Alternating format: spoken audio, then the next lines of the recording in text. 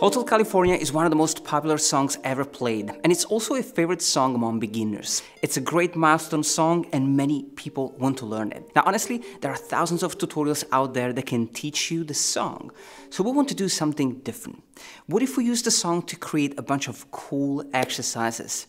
This will help you improve your ukulele skills, enhance your creativity, and play the song better. Now, there are a lot of things we can do, but we need to start with the chords, right? Let me show you the chords.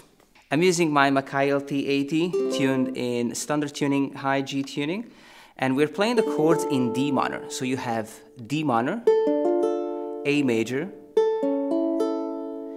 C major, G major, B flat major, 7th, F major, G minor, and A major. So take a moment to practice the chords.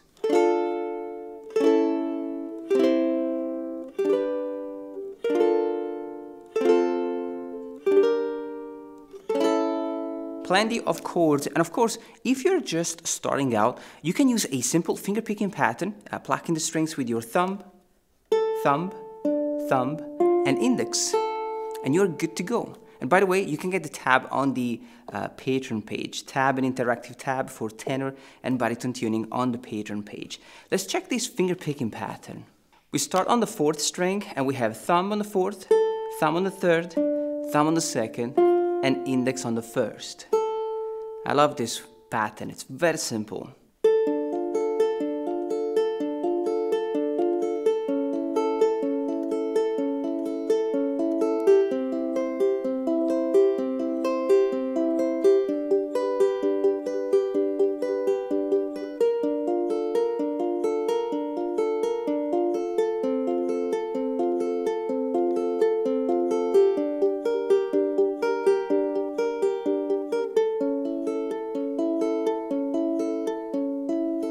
Such a great finger-picking exercise. And by the way, if you love this style of teaching, check out my course, The Daily Uke Challenge. You will love it. We have a lot of teaching like this and you can learn something new every single day. Now, I like this exercise, but what if we want to make these chords look the same by using the same chord shape? This is going to be such a beautiful and creative exercise like this.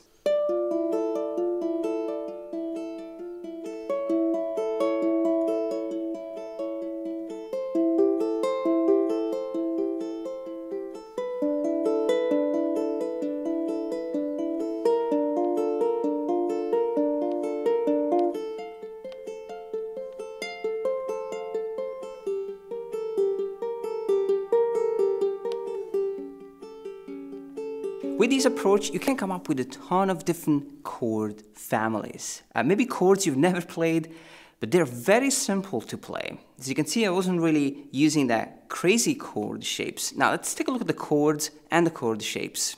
We open up with a beautiful D minor add 9. And we have fret number 7, 5, 0 and 0.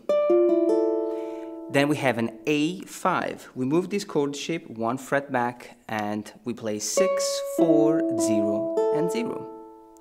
Then we have a beautiful C6 chord. We move this shape one fret back, but we have to change the third and the second string. So we're playing 5, 4, 3 and 0. Beautiful C6 chord. Now for the next chord, we move this shape one fret back and play this chord shape. It's 4, 2, 0, and 0. A beautiful G6, 9 chord.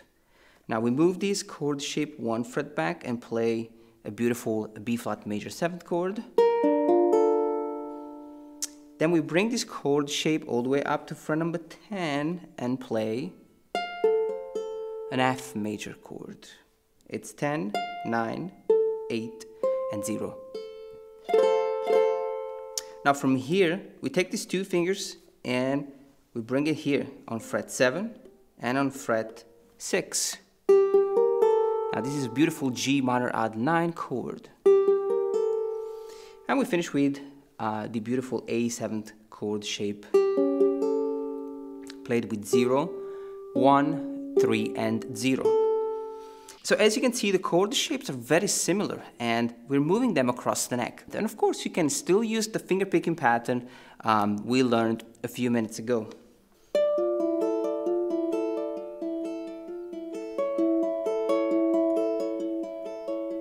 You see how we're using the song to create awesome things? Now, it doesn't have to be all about finger picking. We could do strumming. And so we could strum the chords and, you know, one of my favorite things to do is to use percussive strumming. So we will strum a few times and then uh, use the thumb, the thumb slapping technique to strike the string. It's going to sound awesome. Let me give you an example.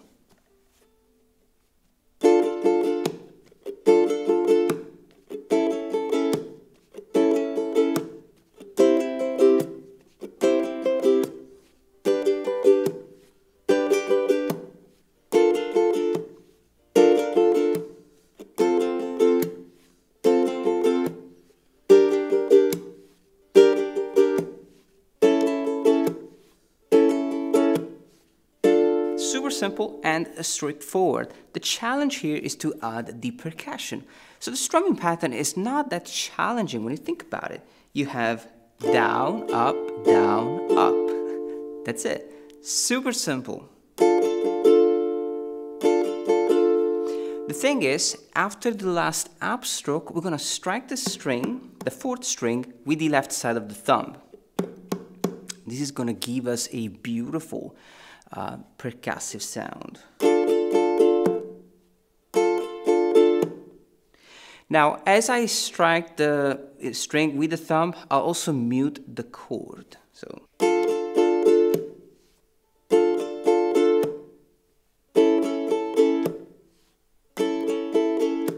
And when you play it faster, it sounds awesome.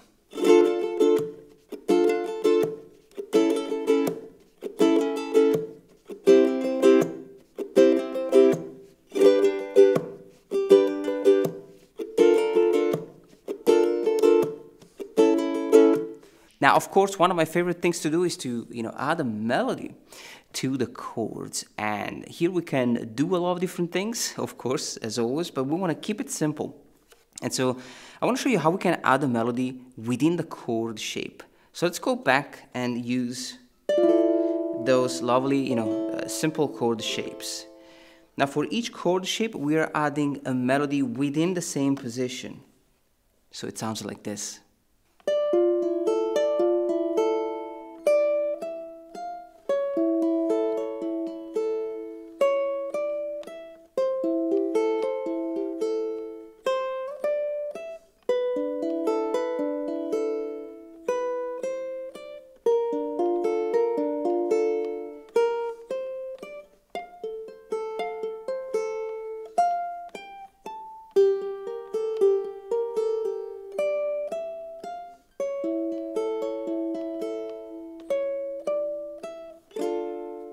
We use the same structure, so it's always chord and then melody. Same picking pattern with thumb, thumb, thumb, and index.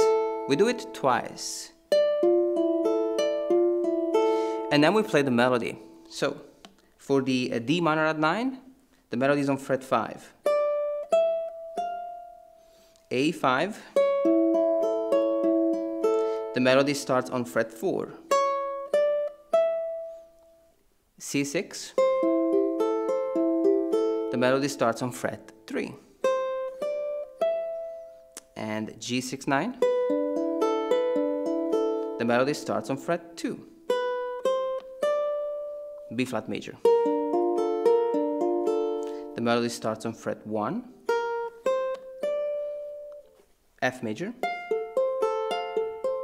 The melody starts on fret 8 um, G minor add 9.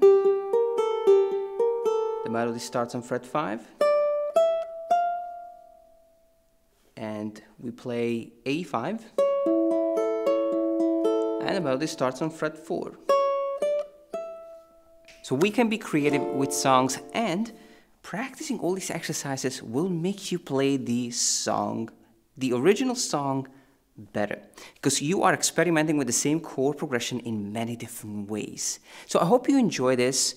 please check the tab on the Patreon page. You can support this channel uh, through the Patreon page and also, you know, check my daily uke challenge. You can learn something new like this every single day, and I'm sure you're gonna love it. Check it out. I'll leave the link in the description. Enjoy this challenge, enjoy this lesson, and I'll see you next time.